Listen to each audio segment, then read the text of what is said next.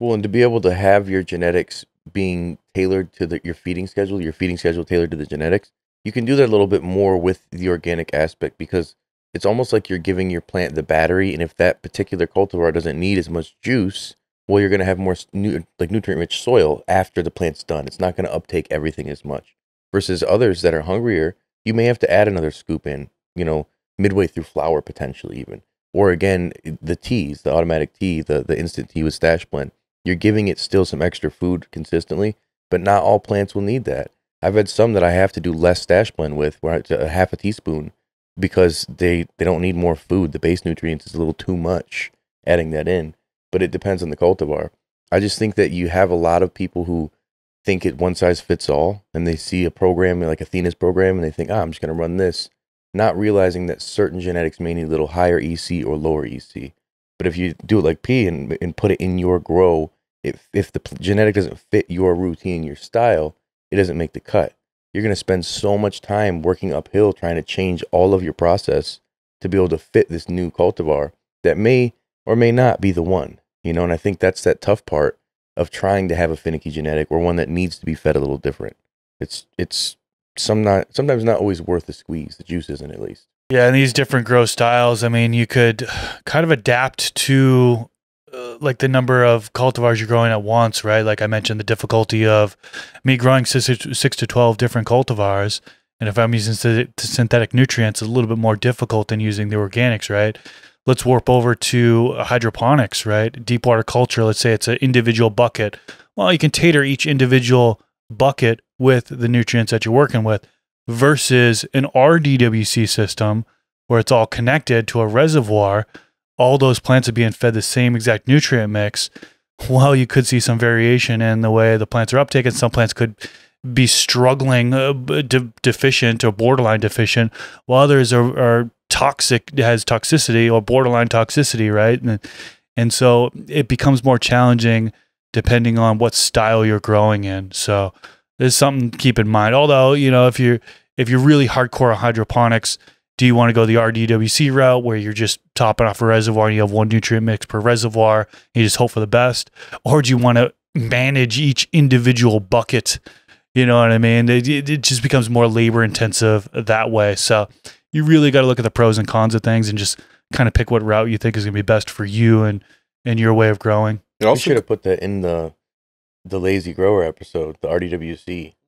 That is, mm. a, it's such a simple or drain to waste, such a simple process. I don't even think about it. Good point. Yeah, yeah. You know what? It's like you, you also make up a good point when it comes down to your grow style as well, because uh, I, I'm very train heavy in my garden, and it's it it's easy to see that the abuse that my plants take are a little bit more than what they can be used to. So to adapt to that, you know, adding a, uh, adding a silica into the mix is going to give me a tougher plant cell wall, a little more manipulable, malleable, so that I can train without any kind of real devastation to the plant.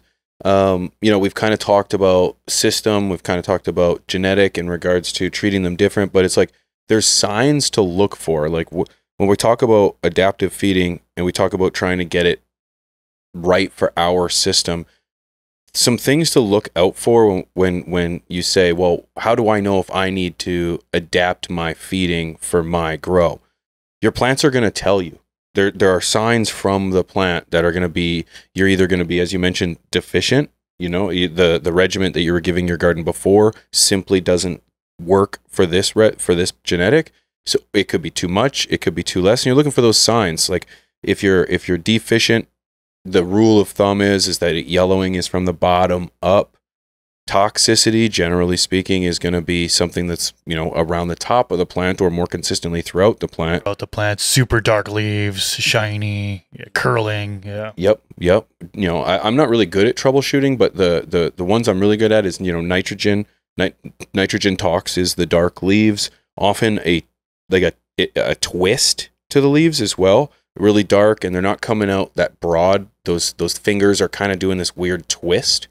Um, that's nitrogen. Um, I know that phosphorus can be like browning spots with like some some dark curling leaves Deficiency of it, yeah. deficiency. Yeah, yeah, yeah. And it's like the, the tough part is too is then there's always those variables like you have root damage or pH issues that are showing these other things. So it's tough in that sense, but learning to read the plant is going to help you with this adaptive feeding to be able to understand like okay, this one right here looks like she's taking too much in because you can you see these signs and you know what you're feeding the plant. It's it's one of those deals where if you don't have the data, if you aren't keeping notes when you're doing these slight changes, like I do it oftentimes in Google Keep, I'll put it in there. So like I'll have a separate tab essentially per genetic, and I just will do little notes on each thing and just random thoughts like this one here sucked at cloning, like just little shit.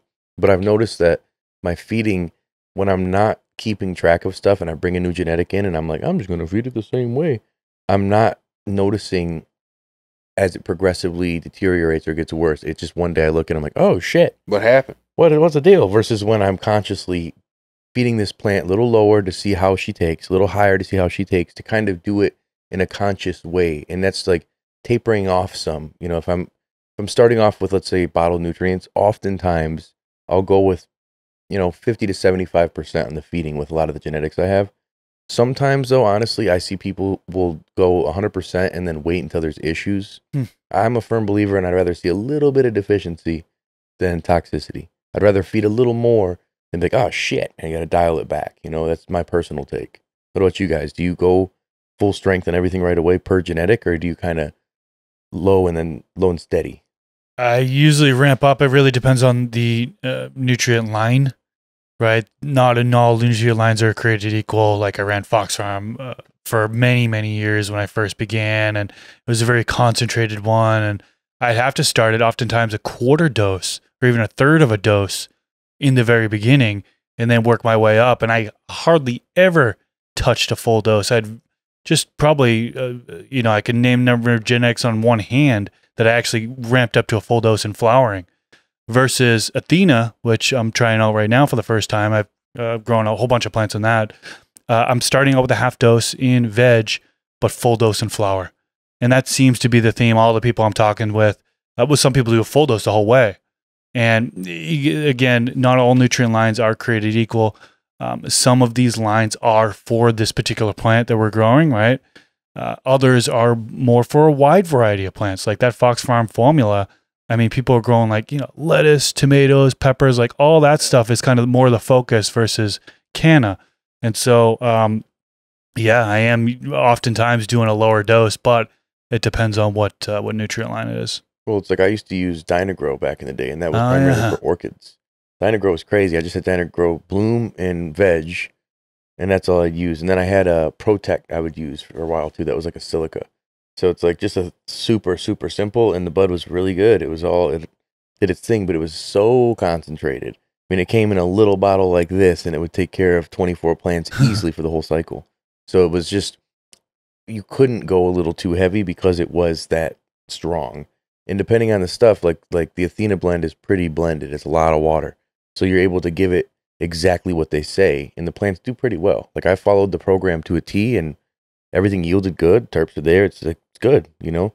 However, when I try to do my old traditional way of I'm going to start low and steady and do all these things, I'm deficient as hell. Hmm. I've got issues. So it's like they really give you, they arm you with the exact amount for success Yeah. versus others are like, hey, plant person, botanist, you should be able to figure it out, read the plant. And it's like not everybody has that knowledge. And it took me years to be able to understand what read the plant meant. That sounded like some hippie, you know, Mr. Miyagi, just wax on, wax off. You learn. And I'm like, what do you mean read the plant, motherfucker? Where's the words? I'm like, oh, see the signs and understand deficiencies and toxicities and when a plant's happy and when it's not and morphology of why it grows this way and maybe it's not supposed to maybe it's my influence that's doing it but then now i understand that i'd rather like i said low and steady because i don't want to have to build backwards from that wonkiness and that weird growth single blade leaves and funkiness you know having to flush the plant it becomes Ugh. more work i feel when you go too far versus too low and work your way up This FTS clip was brought to you by AC Infinity, leaders in garden innovation. Use discount code TheStash15 at checkout to save some money on your order. From the Stash Podcast.